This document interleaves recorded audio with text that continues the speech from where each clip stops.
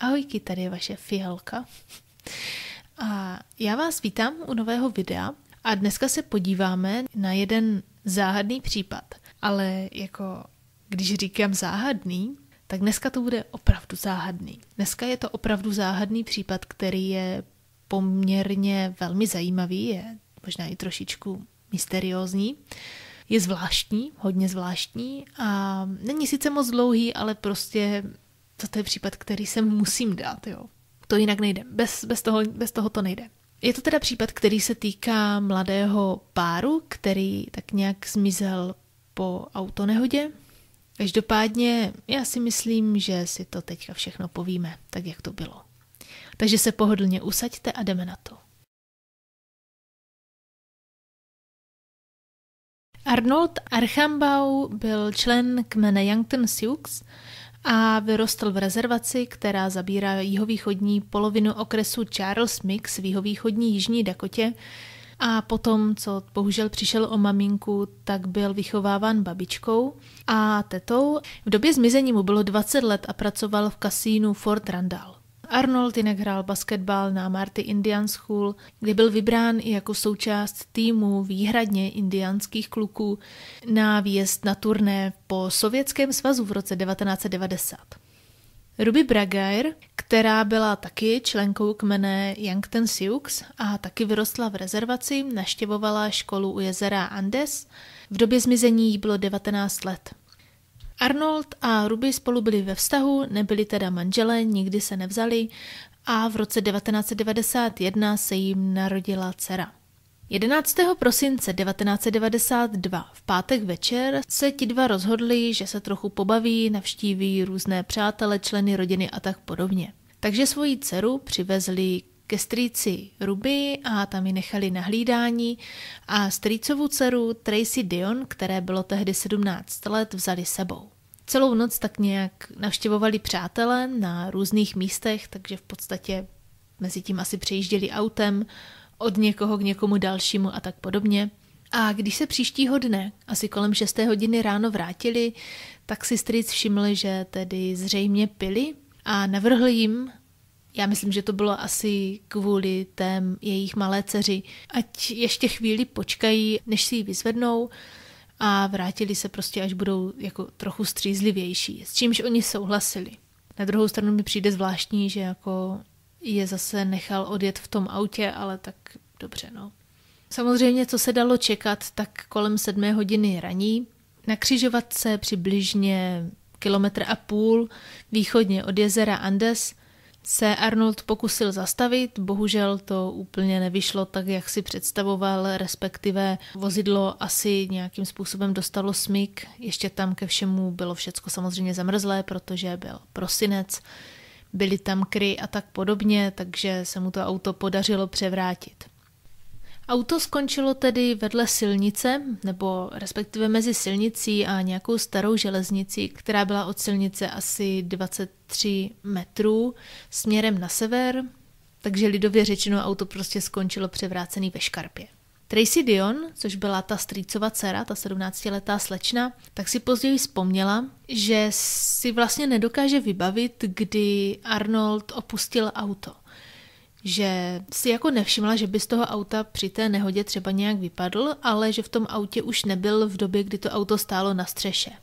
Ruby zase podle ní pořád říkala ach můj bože, ach můj bože a snažila se dostat ven, což se jí během krátkého okamžiku podařilo a prostě se jí podařilo otevřít dveře a vylezla z toho auta ven. Tracy se teda snažila udělat to samé, jenomže jí se dveře otevřít nepodařilo. Takže tím pádem vlastně došlo k tomu, že ona v tom autě zůstala až do příjezdu policie a záchranářů. Arnold a Ruby zřejmě z místa nehody odešli a už se tam nevrátili.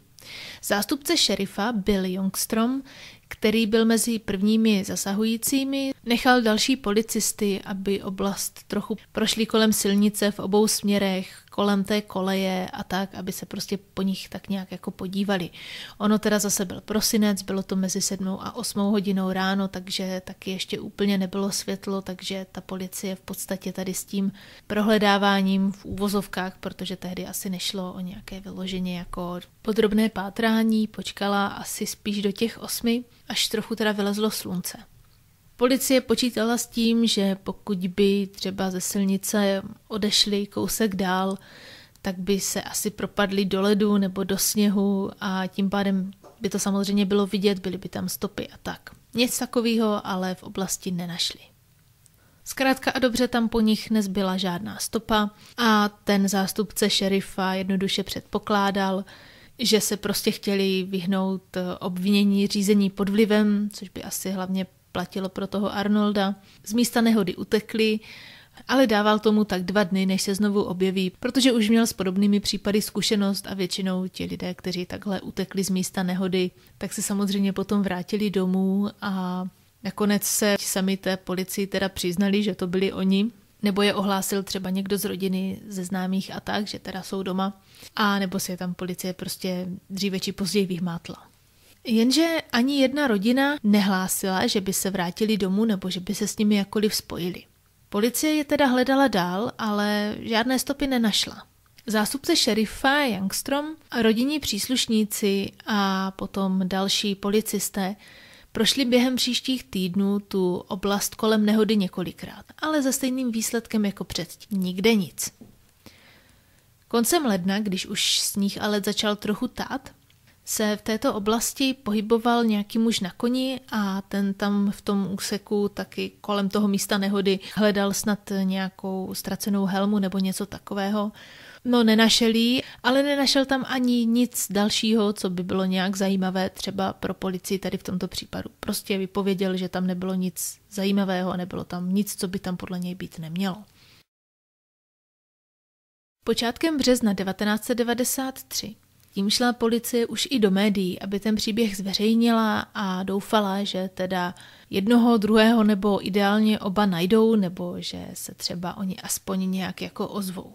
Policii připadalo zvláštní, že by oba takhle utekli, obzvlášť teda, že by utekla Ruby, která v té době měla velmi malé dítě, které ještě kojila, což je případ, který se běžně nestává, a hlavně ta Ruby ani neřídila to auto, kdyby třeba způsobila nějakou strašnou nehodu, která by byla velmi fatální pro velké množství lidí, tak by to bylo zase možná trochu něco jiného, ale v podstatě ona byla spolujezdec. Policie taky nenašla žádné další důkazy o tom, že by Ruby a Arnold měli nějaké další spory s někým jiným, že by měli třeba nějaké právní nebo nějaké finanční potíže a tak podobně. Kapitán Vincent Merrick řekl, že požádal o pomoc i státní oddělení pro vyšetřování trestných činů. Obě rodiny potom vypsali odměnu tisíc dolarů za každou informaci, která by vedla k nalezení Ruby a Arnolda. Během týdne kolem 10. března ráno jeden motorista nahlásil, že viděl tělo plovoucí ve vodě v prohlubní mezi silnicí číslo 281, což byla ta, na které se stala ta nehoda, a těmi starými kolejemi. Takže podle všeho v tom samém výmolu, kde oni skončili s tím autem. Policisté, kteří na místo vyrazili, tam našli tělo mladé ženy. To tělo už teda tady po této době bylo v takovém stavu, že bylo identifikovatelné pouze podle tetování a bylo tedy identifikováno jako tělo Ruby. Policisté se rozhodli nechat veškerou vodu odčerpat, aby zjistili, jestli tam nenajdou i Arnolda. Našli ho druhý den ráno, asi 4,5 metru od Ruby, původně pod asi metrem vody. Jeho tělo bylo rozložené méně, tím pádem bylo snadněji identifikovatelné jako on. Tady toto je právě ten poměrně dost zajímavý aspekt tady v tomto případě, že ty těla byly každé v tak trochu jiném stavu.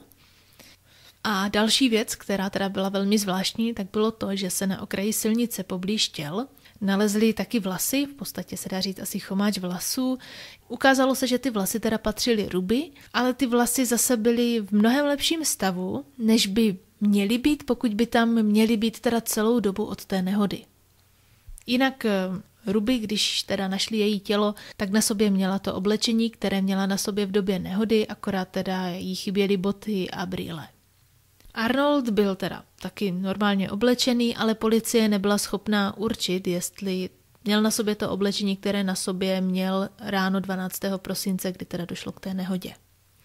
Dál taky ani jeho oblečení, ani jeho tělo nebyly přimrzlé k zemi, jak by se dalo očekávat tady v tomto období. V jeho kapse byla nalezena sada klíčů. Jeden byl od auta a dva, řekněme, od normálního zámku, jako který máte ve dveřích.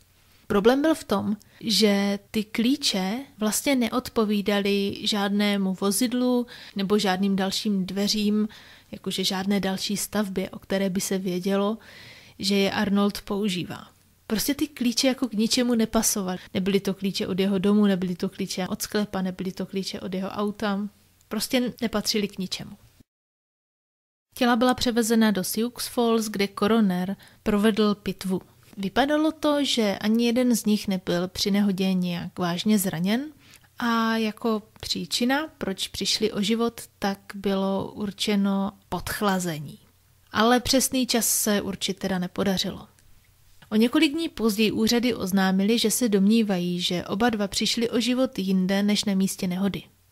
Tak za prvé tam po nehodě nebyli, řekl státní zástupce, a za druhé se těla najednou objevila 10. a 11. března. Na tiskové konferenci 19. března přítomní rodinní příslušníci spolu s reportéry úředníky tak trochu obvinili z neschopnosti.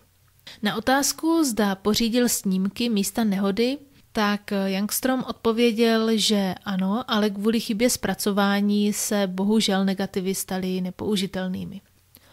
Rodinní příslušníci tady na toto nereagovali samozřejmě zrovna moc dobře.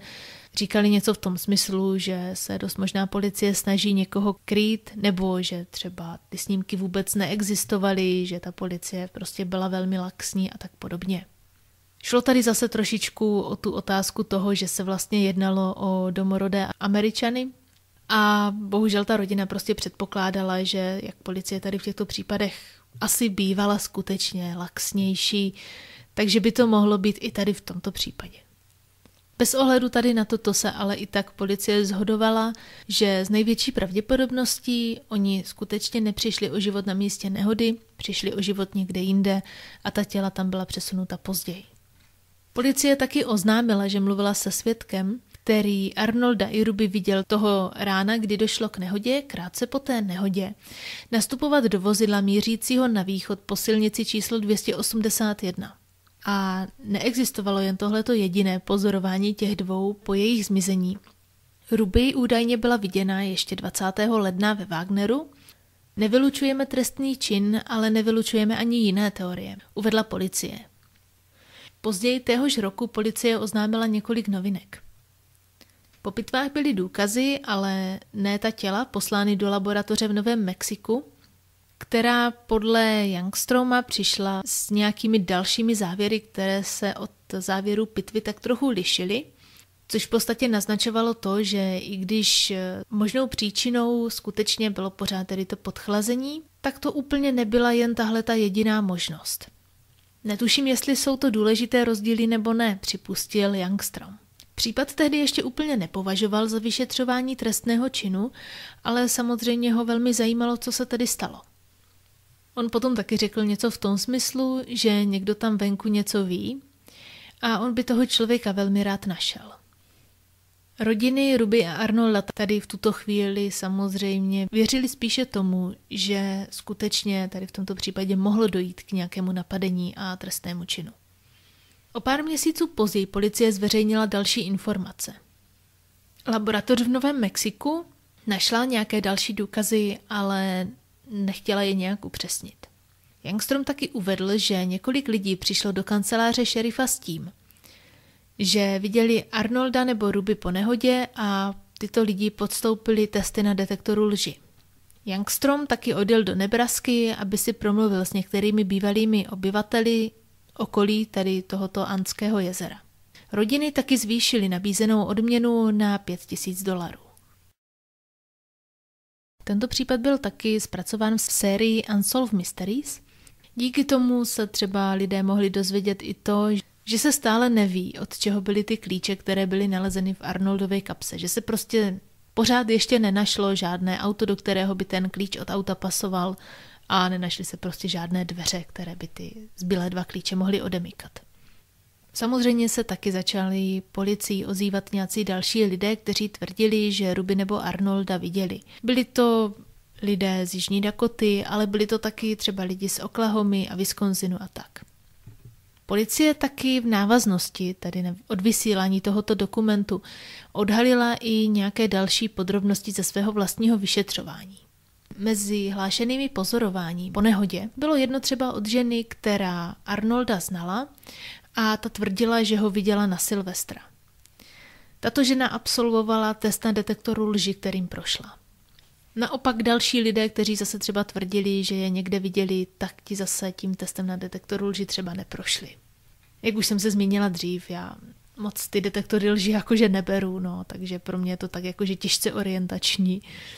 Stejně tak policie uvedla, že se doslechli o tom, že na místě nehody, nebo respektive teď už spíše na místě nálezu těla, těsně předtím, než tam ta těla byla nalezena, tak tam bylo vidět eh, nějaké podezřelé vozidlo, které s tím mohlo souviset, anebo taky třeba nemuselo. Samozřejmě i ten dokument Unsolved Mysteries nabídl teda nějaká vodítka, ale ve výsledku ta vodítka taky k ničemu moc nevedla. Případ nakonec převzala na nějakou dobu i FBI, která o čtyři roky později případ uzavřela a v podstatě nenašla žádné důkazy ani o tom, že by skutečně mělo dojít k tomu, že by Ruby a Arnold byli oběti trestného činu. Matt Miller z místní kanceláře úřadu FBI v Sioux Fall uvedl, že v podstatě jediné, co ví, je to, že Ruby a Arnold přišli o život a později se objevili v příkopu. A to je v podstatě všechno. Po roce 2000 policie už tady tento případ příliš neřešila a nevyšetřovala, ale jeden z šerifů se tady o tento případ velmi zajímal a snažil se taky teda k něčemu trochu dobrat. Ale po svém odchodu do důchodu v roce 2011 místním novinám řekl, že případ byl nejzáhadnějším případem, jaký on sám kdy viděl. Vzpomínal právě i na toho jezdce na koni, který tam v lednu 1993 projížděl a hledal nějakou tu helmu, či co to bylo. A nenašel tam vlastně nic, neviděl tam žádná těla, neviděl tam nic podezřelého. Ani tu helmu nenašel. Stejně tak s teplejším počasím ta prohlubeň mezi silnicí a kolejemi byla z velké části holá a suchá. Takže pokud by tam ta těla v té době byla, tak by je musel vidět, nebo by je musel vidět někdo jiný. Jenže podle všeho tam nebyla, ale i tak na tom samém místě byla nalezena o něco víc než měsíc později. Věřím, že byli umístěni do příkopu poté, co přišli o život někde jinde, řekl bývalý šerif. Vím, že tam v lednu nebyli. Je docela těžké dokázat to, že by se mohlo jednat o násilný trestný čin, když vlastně nemáme důkazy, kterými bychom to právě mohli dokázat. Jinak kromě Unsolved Mystery se tedy tento případ samozřejmě stal i předlohou pro některá další díla, pro některé další dokumenty a tak podobně, čemuž já osobně se ani nedivím, protože je to prostě zvláštní. No, já bych na to strašně ráda měla nějaký názor, ale mě to tak nějak nejde do hlavy. Jako pokud bychom se tady bavili o případu, kdyby oni zmizeli z místa nehody a ty těla by se našly potom třeba kousek dál nebo třeba v tom jezeře, který od nich bylo necelý dva kilometry, tak to by tak nějak smysl dávalo, protože samozřejmě po nehodě i člověk, který není nějak extrémně zraněný fyzicky, tak může být v šoku. V šoku v podstatě znamená, že je zmatený, on může někam odejít, nemusí si to uvědomovat, nemusí si uvědomovat třeba, co se stalo. Ty lidi si někdy nevybavují ani třeba vlastní jméno, datum narození a tak podobně, potřebují nějakým způsobem jako vstřebat to, co se stalo. Takže jako to, že by se po nehodě dva lidi v šoku toulali po okolí a bohužel by se stalo, že by lidově řečeno zmrzli, ještě když teda měli v sobě alkohol, tak to by smysl dávalo, ale tohle to prostě smysl nedává. Jako kdyby dělali něco tajného, když to řeknu takhle, protože těžko říct, co by to bylo. A tady k tomuto by zase trošku nasvědčovalo to, že měl ten Arnold v kapse ty klíče, u kterých se nikdy nepřišlo, od čeho ty klíče vlastně byly. Takže teoreticky by třeba měli nějaké auto, o kterém by nikdo nevěděl, měli by nějaký dům nebo třeba nějakou chatu, o které by nikdo nevěděl a dělali by něco, co by dělat neměli třeba. A využili by tu nehodu k tomu, že by utekli, tak ale to by třeba utekli a prostě by zmizeli a nevrátili by se. ale jejich těla se vrátily zpátky. To je divný. Další možnost samozřejmě je, že je třeba někdo napadl a že jim teda něco provedl a ty klíče, který měl u sebe Arnold, tím pádem nepatřili jemu, ale patřili tomu někomu, kdo je napadl, tím pádem samozřejmě se nepřišlo na to, od čeho ty klíče byly, protože nebyly Arnoldovi. Ale proč by jedno tělo bylo víc rozložený než to druhý? Proč by tam byly ty vlasy, které by, pokud by tam byly už od začátku, měly být v jiném stavu, než v jakém stavu byly?